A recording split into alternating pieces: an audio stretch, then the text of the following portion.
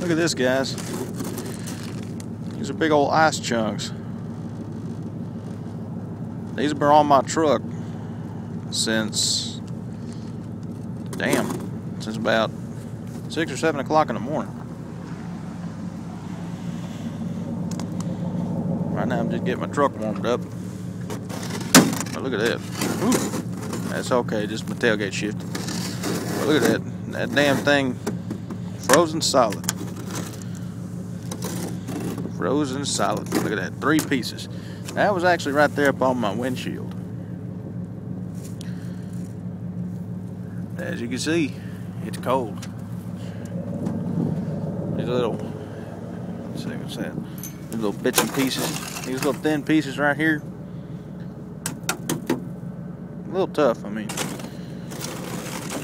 These were these were actually on these were actually on top of my truck. Right there up on top of the roof. As you can see, it's a little chilly. But hey, I don't mind. I love the chilly weather.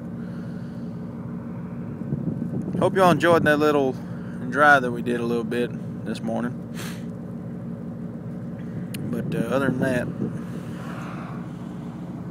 Texas is in for a little bit of a cold weather.